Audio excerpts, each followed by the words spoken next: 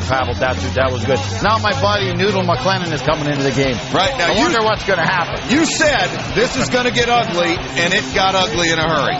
Well, these two teams, Neil, and, and people can't understand it. They hate each other. When you play a seven-game series, you hate the opposition. There's no other word for it.